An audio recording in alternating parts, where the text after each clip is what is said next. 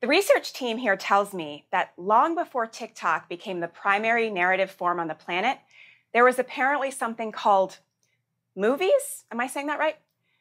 And my first guest is very, very good at them, and he still has lots of followers. I'm delighted to have him here tonight. Please welcome the great Ben Stiller. Hi there. Hi. How are you? How's it I'm going? great. It's good. I'm good. Very, How are you? I'm impressed. I'm good. I'm impressed you're behind a desk because everybody's been at home, and I feel like these shows haven't been real. Like I feel like this doesn't necessarily count. I have nothing to promote. I haven't been doing anything for months, but you're behind a desk in a real studio in LA, which is very impressive. I'm actually in LA. They they took me out of New York, where things are pretty good, into a hotspot. Yeah, that's what they did. It, it, that's great because there are no desks in New York. There's a huge desk shortage right now. I think I'm just want to say. How exciting is it? It's exciting for me to see you hosting this show. It's really exciting. I mean, you are my first guest ever, and um, I, it's I'm just amazing to have you. I'm honored, and I think for a lot of people watching, it's probably the first time they're hearing your voice. Yeah, they expect to hear a brash, very masculine voice coming out of this face.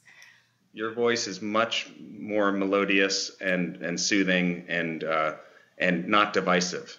Oh, thank you so much. I appreciate that. Um, I hear that you are a, a fan of my TikToks. I am. I am. And you're right. Before, back before the TikToks, I was, I, I did uh, do movies, but uh, I don't even understand what TikTok is, other than I know it's a medium in which images are, are put out into the world. Have you ever thought about maybe giving it a try? I think I could. I mean, I think I could. You know, I, I would give it a shot sometime, just to, you know. Well, why don't you give it a shot? Yeah. All right, I'll give it a shot. You, you got some, uh, some yeah. Trump audio? I, okay. We found we found something that you could try maybe for our audience. Bing, bing, bong, bong, bing, bing, bing. You know what that is, right? Okay. Yeah. I do know what that is. Yeah. what, what is that? What What am I thinking there? Um, I think it's kind of fun. I think it's kind of um, you're talking about the economy and a, like a, a, social justice. Really, that's kind of what's okay. going on in that in that clip. Um, so through those bings and those bongs, that's really what you're trying to emote. So just do it all in your face. Your eyes are very important. It's like a silent film. You're Charlie Chaplin. Okay. Who's that? Uh, this guy, right. I think. Yeah. Go for it. All right, here we go. Bing, bing, bong, bong, bing, bing, bing. You know what that is, right?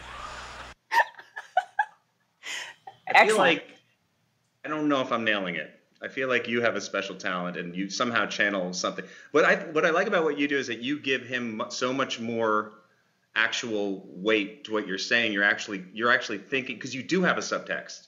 And I feel like he doesn't have a subtext. Right. he doesn't have a subtext, but right. it's kind of fun. Like when he sounds angry, sometimes it's out of fear because he doesn't actually know what he's talking about, or maybe he's confused. And so I like to bring that to the surface sometimes. But I think it's also just interesting to see his words coming out of someone else's face. It is, and and your face especially has been very therapeutic for the nation. So thank you. Thank you so much. So uh, I hear that you've been quarantining with two teenage kids. Yes, it's been. Um, I, I when when it started, I had no gray hair.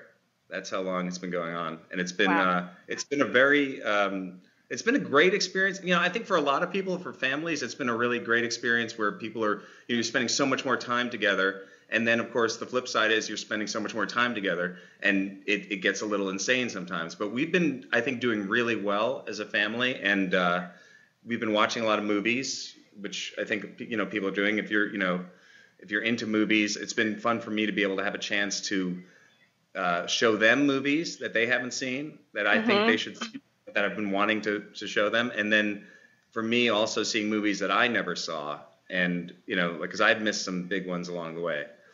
Um, nice. Like, uh, yeah, like Sound of Music, West Side Story. Never You'd never seen Sound of Music? Sound of Music, I'd never seen. I knew that it was Julie Andrews on top of a mountain and singing, and I knew it was a musical. I had no idea there were Nazis. There are so many Nazis. Yeah. Yeah, and thankfully they get away from them. um, so I have to ask: Have you been able to show uh, your kids some of your movies? it's gotten down to that where it's because I've never I've never been the one like, hey, look at this, because I've been wanting them to want to see them, and that that I think the quarantine has finally, you know, it's just basically there are no other options.